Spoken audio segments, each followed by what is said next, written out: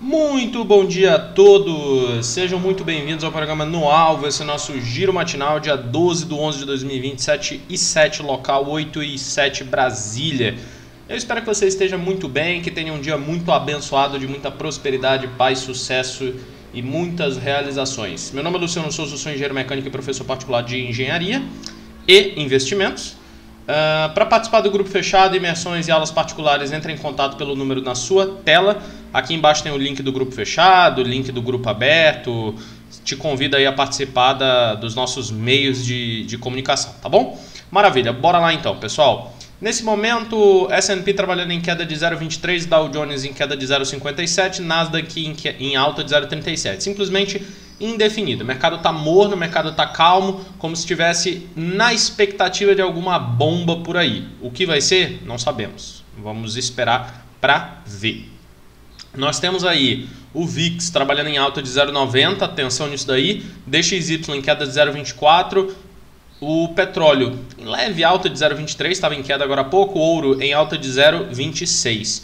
Europa majoritariamente em baixa, mais um dia de leve queda em Xangai e alta na bolsa de Nikkei. Dólar contra os seus principais pares, em queda contra a maioria, em alta contra a libra esterlina e contra o dólar canadense trabalha no 0 a 0. Destaque ali para a coroa sueca em queda de 0,29 e o euro em queda de 0,31.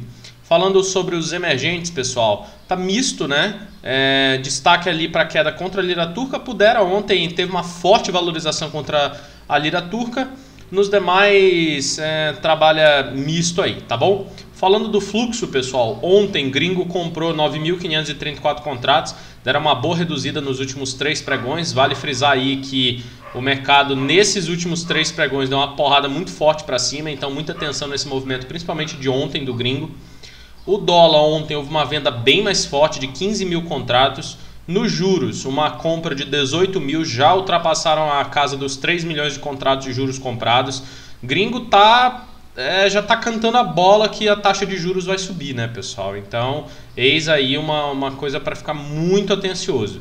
Fluxo à vista. Na segunda-feira houve aquela compra absurda de 4 bi meio, né?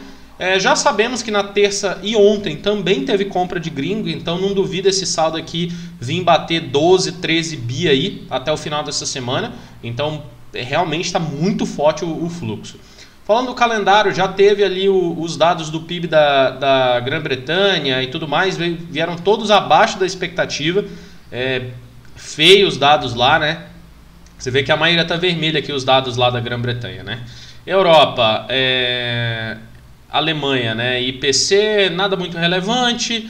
Aí o que mais que nós temos? Vamos ver. Daqui a pouco nós temos o IPC do, dos Estados Unidos, temos o pedido de seguro-desemprego. Muita atenção nesse dado aqui, tá, pessoal? expectativa aí é 335 mil. Ficar de olho nesse dado. Vamos ter também o discurso do Jerome Powell e Christina Lagarde, né? ambos presidentes de seus bancos centrais, Estados Unidos e Europa. Vamos ter também estoque de petróleo. Uh, é, é isso aí, tá bom? E pessoal, novo dado aí, eu vou voltar a fazer todos os dias aqui o CDS, né? Ontem o nosso CDS estava em 167,3 e hoje já está trabalhando aí a 168,7. Na verdade foi o fechamento de ontem, né? É, então leve alta aí, vale frisar aqui no nosso gráfico de risco país que vem uma queda muito forte risco para baixo, bolsa para cima. Quando o risco engatou uma tendência de baixa, a nossa bolsa engatou uma tendência de alta. Então, muita atenção nessa movimentação aqui. E mais, se o nosso risco mirar esse fundo anterior aqui lá de fevereiro, bolsa 120 mil pontos. Agora, se o risco aqui começa a querer fazer uma recuperação mais forte, bolsa corrige. Então, muita atenção aqui na relação risco-país, tá bom? Desejo a todos um excelente dia. Convido você a entrar no grupo aberto, entrar no grupo fechado e vamos que vamos, time. Um forte abraço a todos, fiquem com Deus. Valeu!